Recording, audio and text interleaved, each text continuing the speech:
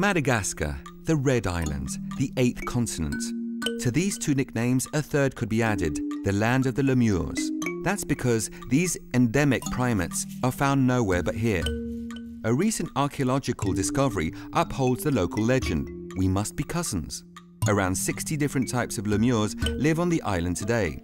Well known thanks to the cartoon Madagascar, these adorable little beasts that are the island's emblem are now a protected species. There are different types of lemurs. Some sing, others have chosen to live close to man. This feeds the legends and taboos told about our soft furry cousins. It's said that one day a man out collecting honey fell out of a tree, and in midfall he was caught by an indri, the largest of lemurs. It caught the man in midfall before he ever touched the ground.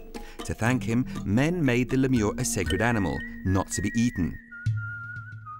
Regrettably, illegal hunting of lemurs is on the upsurge due to an increased need for food and a gradual lifting of taboos. Scientific research has shed new light on these primates that the Malagasy venerate as ancestors. In 1983, a laboratory studied a 47 million year old lemur fossil, the most complete ever found. The presence of an opposable thumb was noted and a little bone above the foot, essential to bipedalism.